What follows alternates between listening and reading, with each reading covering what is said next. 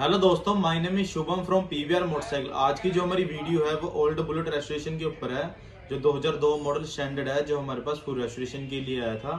और ये जो मोटरसाइकिल है, हमारे पास फुल रेडी हो चुका है। आइए आपको दिखा देते हैं कि किस कंडीशन में हमने तैयार किया है।